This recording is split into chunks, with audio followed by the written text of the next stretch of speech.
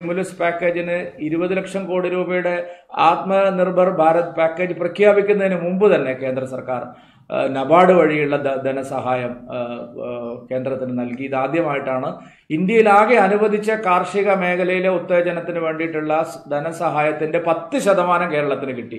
യഥാർത്ഥത്തിൽ കേരളത്തിൽ നാല് ശതമാനമാണ് ലഭിക്കേണ്ടത്. ഇരുപത്തയ്യായിരം കോടി രൂപയുടെ കാർഷിക പാക്കേജിൽ കേരളത്തിൽ നബാർഡ് വഴി കിട്ടിയിരിക്കുന്നത് രണ്ടായിരത്തി അഞ്ഞൂറ് കോടി രൂപയാണ്. ആകെ ഇന്ത്യയിൽ ഇരുപത്തയ്യായിരം കോടി രൂപയാണ് ഇതിനു വേണ്ടി മാറ്റിവെച്ചത്. അതിൽ രണ്ടായിരത്തി അഞ്ഞൂറ് കോടി രൂപയും കേരളത്തിനാണ് ലഭിച്ചത്. കാർഷിക മേഖലയിൽ കേരളത്തിലെ മറ്റ് സംസ്ഥാനങ്ങളുമായിട്ട് താരതമ്യം ചെയ്യുമ്പോൾ കാർഷിക രംഗത്ത് വലിയ ഉൽപാദനവും കാർഷിക രംഗത്ത് വലിയ നേട്ടവും ഇല്ലാത്തൊരു സ്റ്റേറ്റാണ് കേരളം. എന്നാൽ ചെറുകിട നാമമാത്ര സാധാരണ കൃഷിക്കാരെ പാവപ്പെട്ടവരെ കൃഷിക്കാരെ സഹായിക്കാനുള്ള ഇത്തരം പാക്കേജിൽ പത്ത് ശതമാനം തുക കേരളത്തിന് ലഭിച്ചിരിക്കുന്നു. എന്നാൽ ഇതെല്ലാം മറച്ചു വെക്കുന്ന ഇതൊന്നും അംഗീകരിച്ചു കൊടുക്കാൻ തയ്യാറില്ലാത്ത ഒരു നിഷേധാത്മക സമീപനമാണ് സംസ്ഥാന ഗവൺമെന്റ് എടുക്കുന്നത് എന്നുള്ളത് എല്ലാവർക്കും അറിയുന്ന കാര്യമാണ്. ഇപ്പോൾ തന്നെ ടൂറിസം പദ്ധതികൾക്ക് വേണ്ടി കേന്ദ്രം നൽകിയ അഞ്ഞൂറ് കോടി രൂപ ചെലവഴിക്കാത്തതിന്റെ പേരിലുള്ള തർക്കങ്ങൾ കേരളത്തിൽ നിൽക്കുകയാണ്.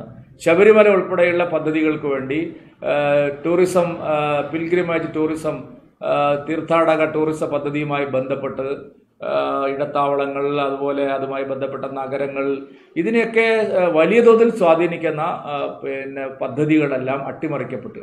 തൊണ്ണൂറ്റി ഒമ്പത് പോയിന്റ് ഒമ്പത് ഒമ്പത് കോടി രൂപ രണ്ടായിരത്തി പതിനേഴിൽ കേരളത്തിന് കൈമാറാൻ കേന്ദ്ര സർക്കാർ തയ്യാറായി. പക്ഷേ അതിൽ അഞ്ച് ശതമാനം പോലും പണം ചെലവഴിക്കാൻ ശബരിമലയുടെ കാര്യത്തിൽ സംസ്ഥാന ഗവൺമെന്റ് തയ്യാറായിട്ടില്ല.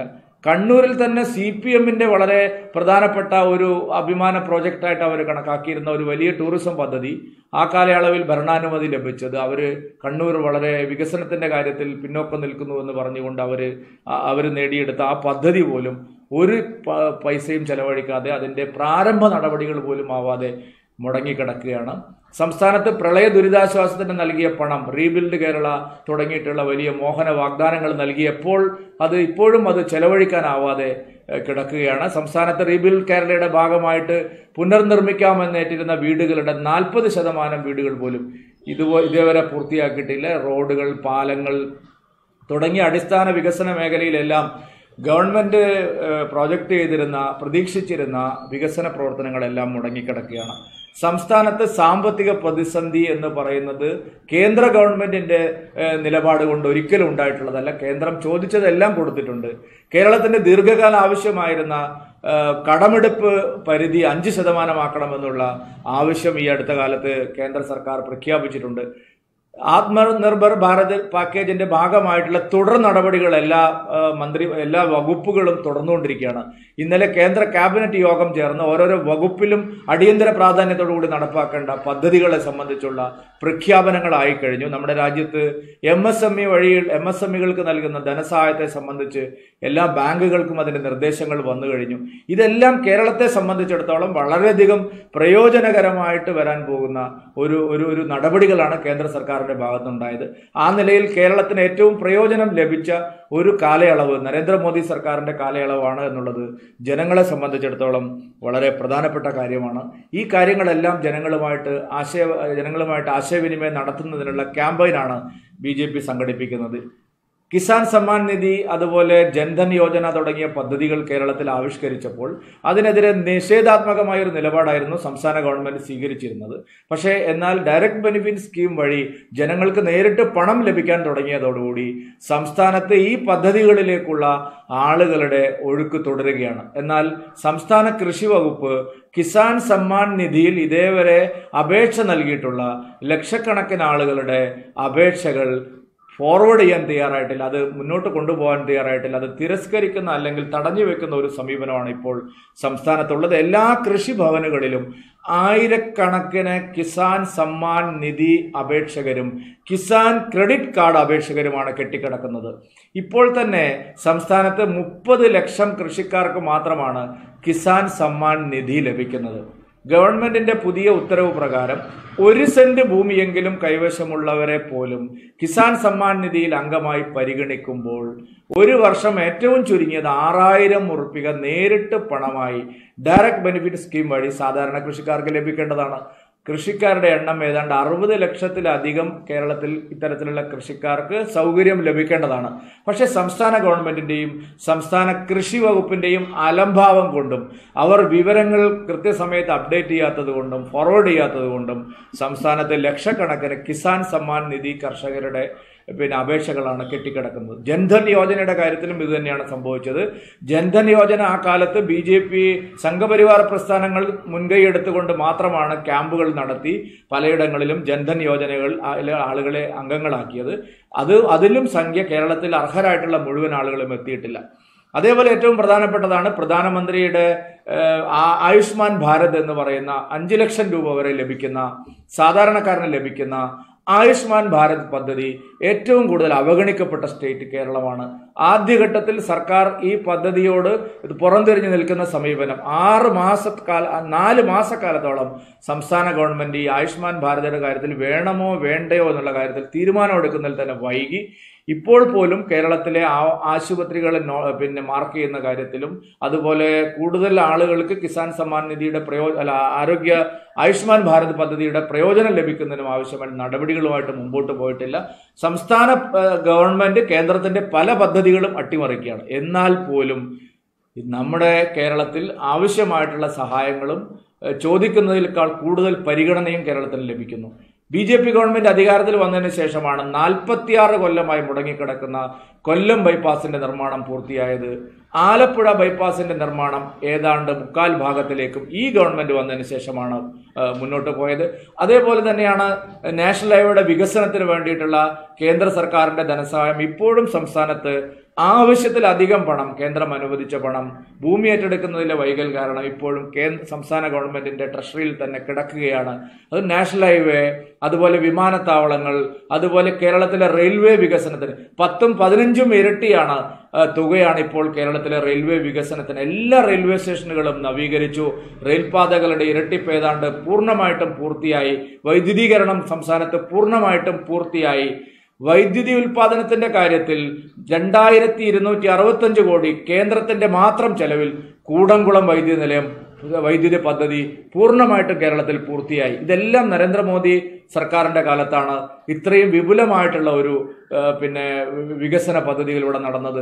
സംസ്ഥാനം ആവശ്യപ്പെട്ടിട്ടുള്ള തിരു കാസർഗോഡ് മുതൽ തിരുവനന്തപുരം വരെയുള്ള സമാന്തര അതിവേഗ റെയിൽവേ പാതയ്ക്ക് അനുകൂലമായിട്ടുള്ള നിലപാടാണ് സംസ്ഥാന കേന്ദ്ര സർക്കാർ സ്വീകരിക്കുന്നത്. അതിനും വൈകാതെ അതിന്റെ ഇത് ലഭിക്കുമെന്നുള്ള അനുമതി ലഭിക്കുമെന്നുള്ളതാണ് അറിയാൻ സാധിക്കുന്നത്. അങ്ങനെ കേരളത്തെ സംബന്ധിച്ചിടത്തോളം ഇതുപോലെ വികസനോന്മുഖവും സഹായകരവുമായിട്ടുള്ള നിലപാട് സ്വീകരിച്ച നരേന്ദ്രമോദി സർക്കാർ ആ സർക്കാരിനെതിരെയാണ് ഇപ്പോൾ ഇത്തരത്തിലുള്ള കുപ്രചരണങ്ങളുമായിട്ട് സർക്കാരും പ്രതിപക്ഷവും വരുന്നത്.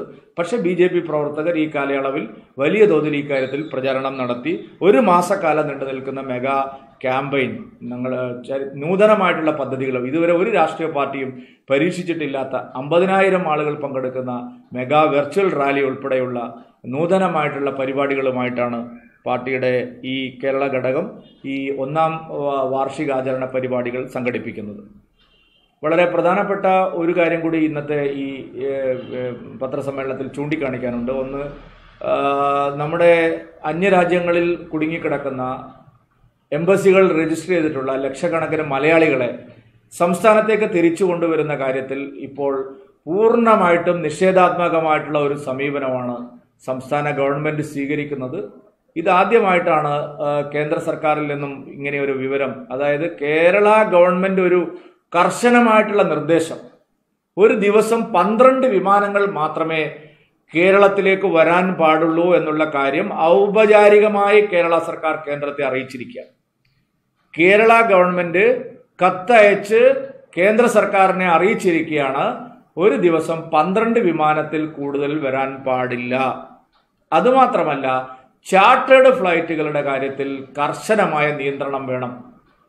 വിവിധ രാജ്യങ്ങളിൽ പ്രത്യേകിച്ച് സൗദി ഇസ്ലാമിക രാജ്യങ്ങളിലും അതുപോലെ തന്നെ യൂറോപ്പിലും അമേരിക്കയിലും എല്ലാം ആയിരക്കണക്കിന് ആളുകൾ ഈ ചാർട്ടേഡ് ഫ്ലൈറ്റ് സംവിധാനം ശരിയാക്കണമെന്ന് ആവശ്യപ്പെട്ടുകൊണ്ട് കേരളത്തിലെ ബി ജെ പിയെയും നമ്മുടെ പ്രവാ വിദേശകാര്യ സഹമന്ത്രി ശ്രീ വി മുരളീധരൻ അവറുകളെയും കേന്ദ്ര സർക്കാരിനെയും നിരന്തരം സമീപിച്ചുകൊണ്ടിരിക്കുകയാണ്. പല കമ്പനികളും നടത്തുന്ന ആളുകൾ ആ കമ്പനികളിൽ ജോലി ചെയ്യുന്ന ആയിരക്കണക്കിന് ആളുകൾ തയ്യാറായി നിൽക്കുന്നുവെന്ന് പറഞ്ഞുകൊണ്ട് ഇങ്ങനെ പിന്നെ കേരളത്തിലേക്ക് ചാർട്ടേഡ് ഫ്ലൈറ്റുകൾ വേണമെന്നുള്ള ആവശ്യം വിവിധ രാജ്യങ്ങളിലെ വിവിധ സാമൂഹ്യ സംഘടനകളും കഴിഞ്ഞ ഒരു മാസത്തിലധികമായി തുടർച്ചയായിട്ട് ഇത്തരം ആവശ്യങ്ങൾ ഉന്നയിച്ചുകൊണ്ടുള്ള നിവേദനങ്ങളും അതുപോലെ അപേക്ഷകളും കേന്ദ്ര സർക്കാരിലും ഭാരതീയ ജനതാ പാർട്ടിയിലും മുമ്പിലും എല്ലാം അവർ നിരന്തരമായിട്ട് ബന്ധപ്പെട്ടുകൊണ്ടിരിക്കുകയാണ്.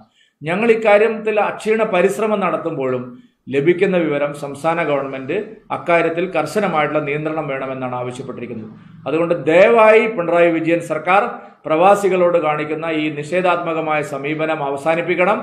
പന്ത്രണ്ട് ഫ്ലൈറ്റുകളെ വരാൻ പാടുള്ളൂ എന്ന് പറയാനുള്ള അധികാരം സംസ്ഥാന ഗവൺമെന്റിന് ഇല്ല. സംസ്ഥാന ഗവൺമെന്റ് വരുന്ന പ്രവാസികൾക്കെല്ലാം സൗകര്യം ഒരുക്കി കൊടുക്കാൻ ക്വാറന്റൈൻ സൗകര്യങ്ങൾ ഏർപ്പെടുത്തിയിട്ടുണ്ട് എന്ന് നേരത്തെ ഹൈക്കോടതിയിലും പ്രധാനമന്ത്രിക്ക് അയച്ച കത്തിലും ആവശ്യപ്പെട്ടതാണ്. പ്രധാനമന്ത്രിക്ക് ഏപ്രിൽ മാസം പതിനൊന്നാം തീയതി അയച്ച കത്തിൽ വ്യക്തമായും കേരള മുഖ്യമന്ത്രി ആവശ്യപ്പെട്ടതാണ്. ഞങ്ങൾ തിരിച്ചു കൊണ്ടുവരാൻ തയ്യാറാണ്. എല്ലാ സൗകര്യങ്ങളും സംസ്ഥാന ഗവൺമെന്റ് ഒരുക്കിയിട്ടുണ്ട്. ഹൈക്കോടതിയിൽ നൽകിയ സത്യവാങ്മൂലത്തിലും കേരള ഗവൺമെന്റ് പറഞ്ഞത് പ്രവാസികൾക്ക് എല്ലാ സൗകര്യങ്ങളും ഒരുക്കിയിട്ടുണ്ട്. ഇപ്പൊ എന്തുകൊണ്ടാണ് പിന്നീട് ഇപ്പോൾ പന്ത്രണ്ട് വിമാനങ്ങളെ വരാൻ പാടുള്ളൂ എന്ന് പറഞ്ഞത്? അപ്പോൾ കേരളത്തിലേക്കുള്ള പ്രവാസികളുടെ മടങ്ങി വരവിന് തടസ്സം നിൽക്കുന്നത് പിണറായി വിജയൻ സർക്കാരാണ്. സംസ്ഥാന സർക്കാരാണ്. സംസ്ഥാന സർക്കാരാണ് ഇവിടേക്ക് അധികം ആളുകൾ വരേണ്ടതില്ല എന്നുള്ള നിലപാട് സ്വീകരിക്കുന്നത്. ഇത് പ്രവാസികളോടുള്ള വഞ്ചനയാണ്. പ്രവാസി മലയാളികൾ പലരും അവിടെ വളരെയധികം ബുദ്ധിമുട്ടുകയാണ്. അവർ കഷ്ടപ്പെടുകയാണ് ലേബർ ക്യാമ്പുകളിലും മറ്റും. അവരോടുള്ള ക്രൂരതയാണ് സർക്കാർ കാണിക്കുന്നത്.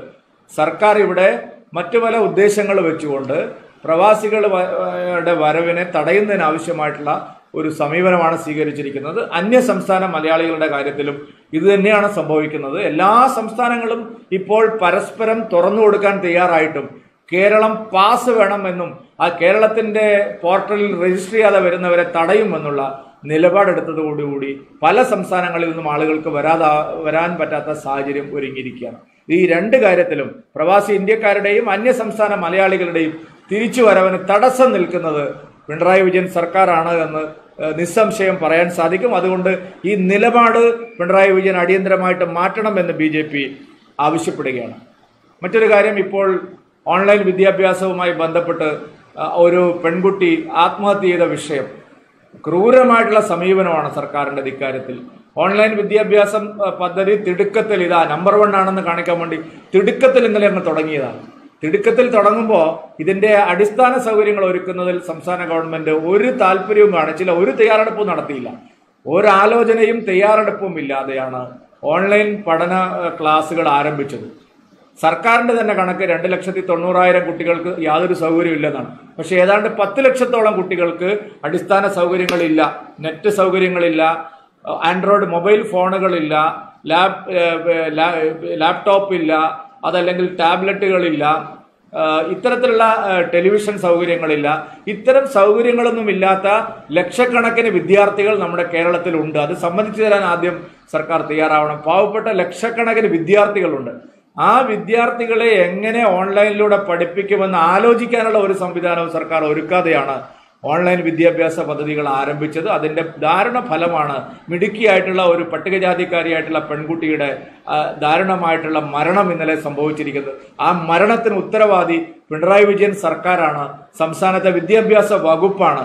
ഈ കാര്യത്തിൽ എന്ത് ചെയ്യാനാവുമെന്നുള്ള ആവർത്തിച്ചുള്ള ചോദ്യത്തിന് മറുപടി പറയുന്നത് തദ്ദേശ ഭരണ സ്ഥാപനങ്ങൾ നോക്കുമെന്നാണ്.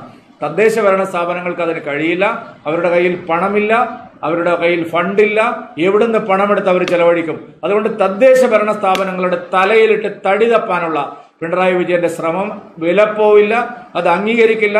സർക്കാർ നേരിട്ട് ഇത്തരം സൗകര്യങ്ങൾ ചെയ്യണം. ഒന്നുകിൽ ലാപ്ടോപ്പ് അല്ലെങ്കിൽ ഏറ്റവും ചുരുങ്ങിയത് ഒരു ടാബ്ലറ്റ് എങ്കിലും ഇത്തരം വിദ്യാർത്ഥികൾക്ക് വാങ്ങിക്കൊടുത്ത് അവിടെയെല്ലാം നെറ്റ് സൗകര്യം ഏർപ്പെടുത്താനുള്ള അടിയന്തരമായ സൗകര്യം സംസ്ഥാന ഗവൺമെന്റ് ഏർപ്പെടുത്തണം. സംസ്ഥാന ഗവൺമെന്റ് കയ്യിൽ പണമില്ല എന്ന് പറയാൻ സാധിക്കില്ല. ഇഷ്ടം പോലെ പണം കേന്ദ്ര സർക്കാർ കാലാകാലങ്ങളിലായിട്ട് വിദ്യാഭ്യാസ മേഖലയ്ക്ക് പ്രത്യേകിച്ചും സർവശിക്ഷ അഭിയാൻ പോലുള്ള മേഖലകളിൽ ശത സഹസ്ര കോടിക്കണക്കിന് രൂപയാണ് കേരളത്തിലേക്ക് വരുന്നത്. അതുകൊണ്ട് പണത്തിന്റെ ലഭ്യത കുറവല്ല സംസ്ഥാന ഗവൺമെന്റിന്റെ താല്പര്യക്കുറവാണ് ഇതിന് കാരണം. ഈ ദൂർത്തടിക്കുന്ന കാശിലൊരു ചെറിയ ശതമാനം എടുത്താൽ കുട്ടികൾക്ക് ഈ സൗകര്യങ്ങൾ ഏർപ്പെടുത്തി കൊടുക്കാൻ സാധിക്കും. അതുകൊണ്ട് അടിയന്തരമായി ഈ കാര്യത്തിൽ വിദ്യാർത്ഥികൾക്ക് സാങ്കേതിക സൗകര്യങ്ങൾ ഒരുക്കാൻ സർക്കാർ ചെലവഴിച്ച് മുന്നോട്ട് വരണം. സർക്കാർ അതിന് നേതൃത്വം നൽകണം. അത് തദ്ദേശ സ്ഥാപനങ്ങളെയും മറ്റാളുകളെയും ഏൽപ്പിക്കരുത് എന്ന് ബി ആവശ്യപ്പെടുകയാണ്. അടിയന്തര ശ്രദ്ധ ഇക്കാര്യത്തിൽ വേണം. അല്ലെങ്കിൽ സമത്വം എന്നുള്ള നമ്മുടെ കാഴ്ചപ്പാട് പണമുള്ളവർ പഠിക്കുക സൗകര്യമുള്ളവർ പഠിക്കുക എന്നുള്ള ഒരു നിലയിലേക്ക് കേരളം വരികയാണ്. സൗകര്യമില്ലാത്തവർക്ക് പഠനം വേണ്ടെന്നാണോ ഈ സർക്കാർ പറയുന്നത്? പാവപ്പെട്ടവർ എന്ത് ചെയ്യണമെന്നാണ് ഈ സർക്കാർ പറയുന്നത്? ഒരു ടി വി പോലും ഇല്ലാത്ത ഒരു നെറ്റ് സൗകര്യമില്ലാത്ത ഒരു ആൻഡ്രോയിഡ് ഫോൺ ഇല്ലാത്ത കുട്ടികൾ മിടുക്കരായിട്ടുള്ള കുട്ടികൾ എന്ത് ചെയ്യണമെന്നാണ് പറയുന്നത്? ഈ കുട്ടികളിൽ മഹാഭൂരിപക്ഷം പട്ടികജാതിക്കാരും പട്ടികവർഗക്കാരും സാമൂഹ്യമായും സാമ്പത്തികമായും പിന്നോക്കം നിൽക്കുന്ന കുടുംബങ്ങളിലുള്ള ദരിദ്രനാരായണന്മാരുടെ മക്കളാണ്.